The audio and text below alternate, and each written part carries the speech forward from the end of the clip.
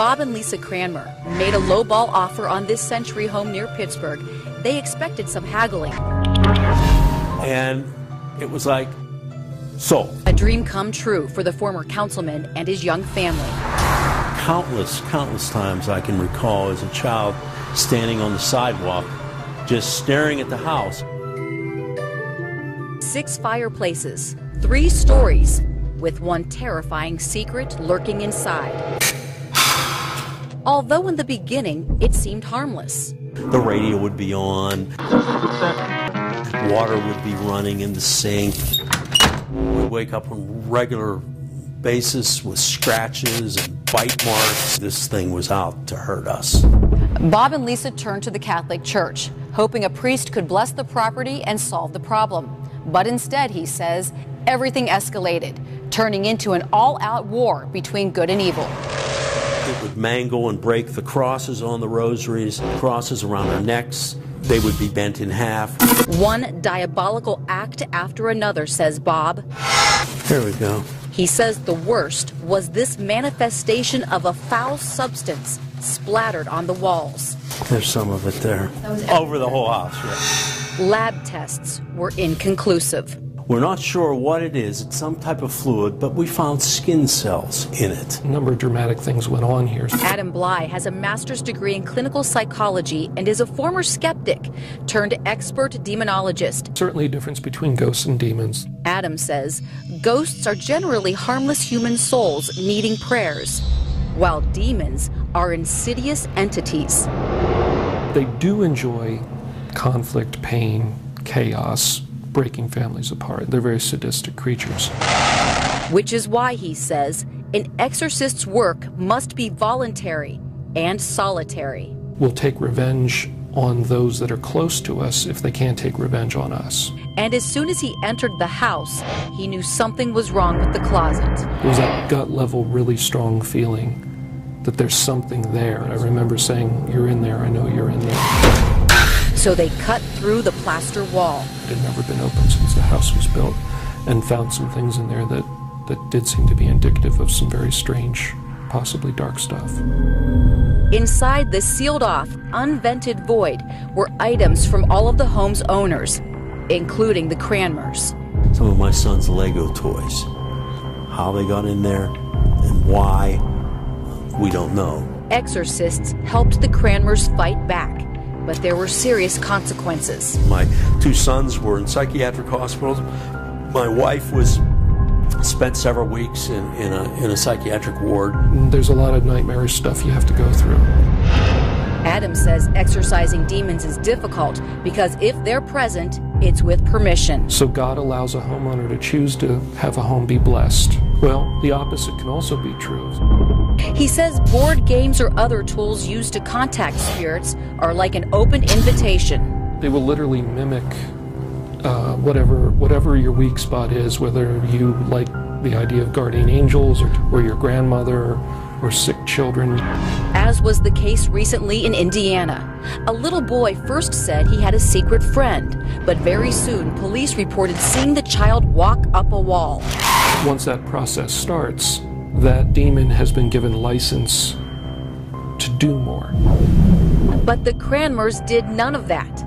However, they believe someone else did, because inside that secret crawl space was a sketch of the original owners in 1909. On the back of that paper were these very malicious, or I should say, evil looking descriptions that you could tell were put on there by somebody else, possibly by one of the workmen. Three years after discovering that, in 2006, Bob says the demon finally left. It was somewhat like a, a, a blazing fire that eventually burned itself out. Pretty much all the major religious systems in the world have seen this problem. Holy Mary, Mother of God, pray for us sinners. Both men understand skeptics exist, but they insist so does evil. And if people don't want to believe it, okay, but that doesn't mean it isn't true. It exists. That's why I'm telling the story. But deliver us from evil. Amen.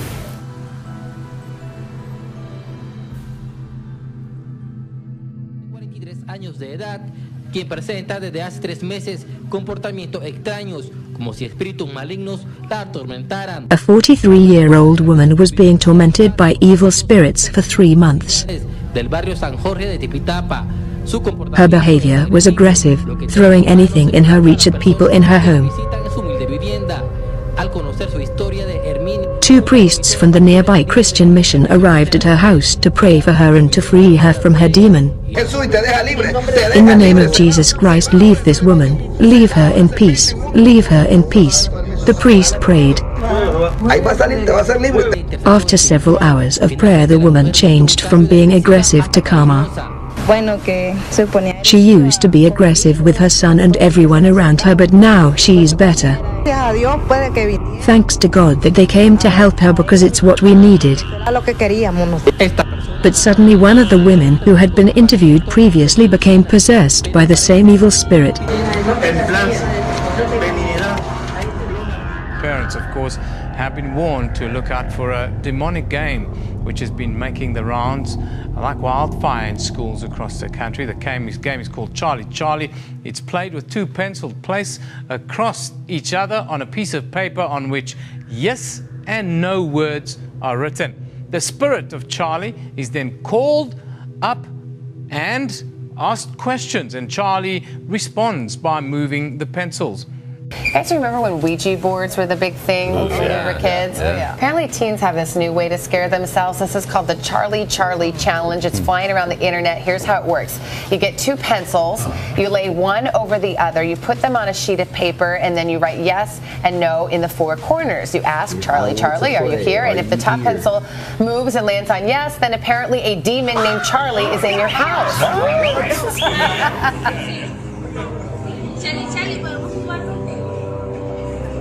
Oye, Charlie, Charlie. Charlie, podemos jugar contigo.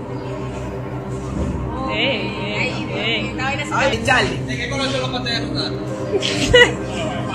Charlie, Charlie. ¿Es verdad que eres gay? ¡Ay, ay, ay!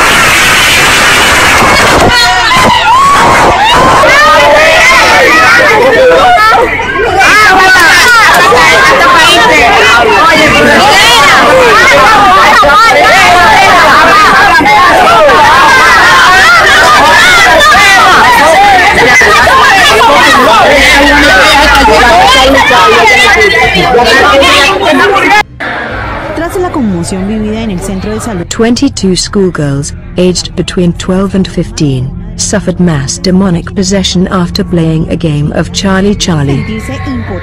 Sentirse porque ya son cuatro los ataques que su hija ha presentado después de ese The traumatic incident happened in the Choco region of Colombia. The children were screaming, writhing, and hallucinating, and some were even foaming at the mouth. One victim claimed she could see a man dressed in black while possessed. en cada casa de las jóvenes afectadas.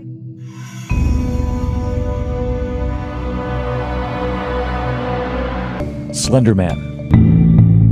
Tall, faceless, mysterious figure, a fictional character who lurks in the background, sometimes peering over the shoulders of children. The story of Slender Man changing, evolving all the time, with help from fans all over the world, adding to the story online, giving this fictional character new life every day. Waukesha, Wisconsin, just outside Milwaukee. And on a Saturday morning this past May, a horrific tale is just beginning to emerge. She appears to be stabbed. She appears to be what? Stabbed. Stabbed? Correct. Is there any bleeding going on? Her clothing has got blood on it. Okay, and you found her and she was just laying there? Yeah. A birthday sleepover with three 12 year olds the night before, and now two girls are missing. The other, Payton Leutner, has somehow crawled out of the woods, covered in stab wounds, 19 of them. She's now being wheeled into the operating room, having just told her mother her friends did this to her. An ordinary slumber party, three girls and someone else, an unknown figure getting into that party too. A fictional character from the internet named Slenderman, who so many parents had never even heard of. But listen to what these two girls begin to tell police. Anissa Weier revealing to investigators it was Morgan's idea to kill Peyton, to prove themselves, quote, worthy to Slender Man. Anissa telling police her friend suggested, quote, we should be proxies of Slender. Anissa says she was surprised by Morgan's plan, but excited to prove that this fictional internet character actually existed to prove the skeptics wrong. The girls were very clear with police that they were trying to kill the victim. They wanted to do it as, as a sacrifice to Slenderman. One of them said that Slenderman had been watching her. Right now, we're waiting to hear whether a 14 year old girl will be charged as an adult for trying to kill her mother and her brother. Tonight, we know she was looking at websites involving the fictional character Slender Man just before deputies say she set her home on fire after an argument. Investigators telling us late this afternoon they found a journal belonging to the teen. Among things they say the suspect wrote, quote, if this keeps up, there will be no safety in this house. And mom, if you ever find this before it happens, I'm sorry. We're also told she was influenced by violent online stories like Slender Man. One of her friends told us what's in those stories. Very disturbing and violent things like murder, how to kill someone, you know, guns, knives, brutal. Did you ever hear her talking about those things? Um, sometimes she would explain what happened in a story to someone